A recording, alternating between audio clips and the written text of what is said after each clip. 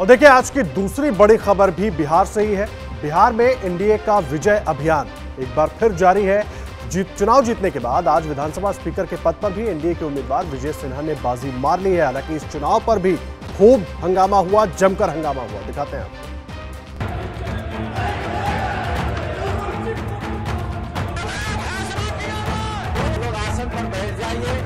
चुनाव हो जाने के बाद भी बहुत होती है। हंगामे और नारेबाजी के बीच आज बिहार विधानसभा में 50 साल से ज़्यादा पुराना रिकॉर्ड टूट गया।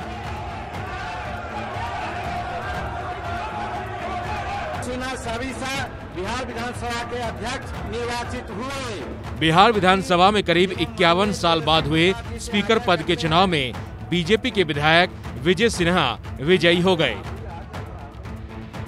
सीएम नीतीश कुमार के साथ साथ तेजस्वी यादव बिहार विधानसभा के नए स्पीकर विजय सिन्हा को अध्यक्ष की कुर्सी तक ले गए।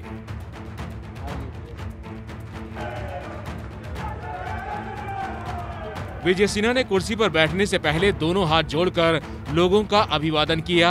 इस दौरान पूरा सदन जय श्री राम के नारों से गूंज उठा।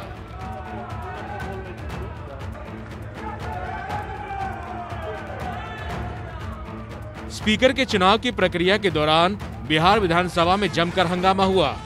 लोग आसन पर बैठ जाइए। चुनाव हो जाने के बाद भी बहुत प्रक्रियाएँ होती है।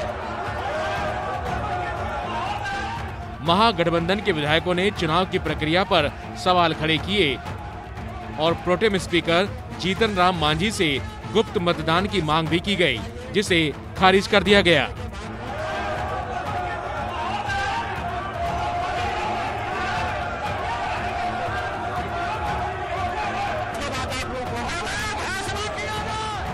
महागठबंधन के विधायकों ने सदन में सीएम नीतीश कुमार की मौजूदगी पर भी सवाल उठाए। होने का संवैधानिक अधिकार और मतदान के दौरान उन्हें सदन से बाहर रखने की मांग को लेकर विपक्ष के विधायक सदन के वैल तक जा पहुँचे।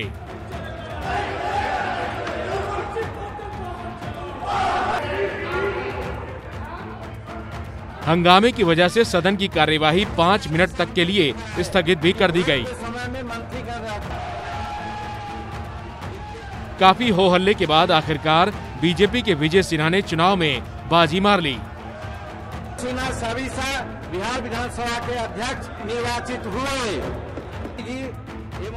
बीजेपी के विजय सिन्हा के खिलाफ चुनाव में महागठबंधन ने आरजेडी के अवध बिहारी चौधरी को उम्मीदवार बनाया था। चुनाव में एनडीए के विजय सिन्हा को 126 वोट मिले जबकि अवध बिहारी चौधरी को 114 विधायकों का समर्थन हासिल हुआ।